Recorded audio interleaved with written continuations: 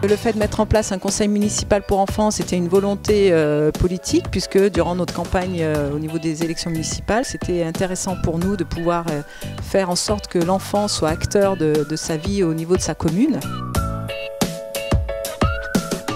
C'est notre premier conseil.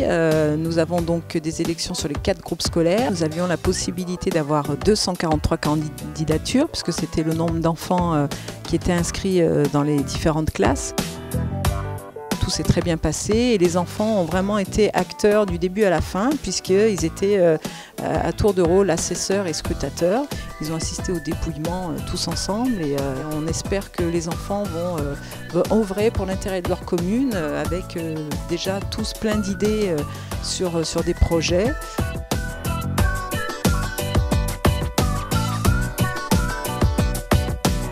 Nous accueillons la première, le premier conseil municipal pour enfants.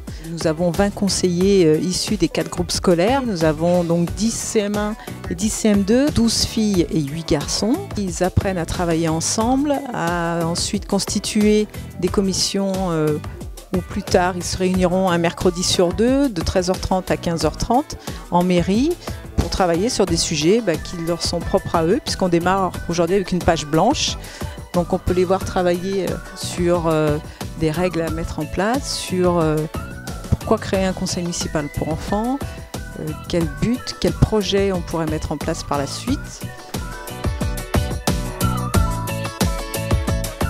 Samedi après-midi, nous avons eu l'installation officielle du conseil municipal. Donc les parents, euh, les familles, papy, mamie étaient accueillis au sein de, la mairie. C'était donc un moment très solennel puisque euh, toute l'équipe municipale, adjoints et conseillers municipaux étaient en mairie euh, autour d'eux pour les accueillir, donc en place des, des adultes élus.